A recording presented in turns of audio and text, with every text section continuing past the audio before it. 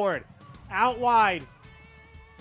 A chance here for Charleston, and Zico Lewis finally has the goal.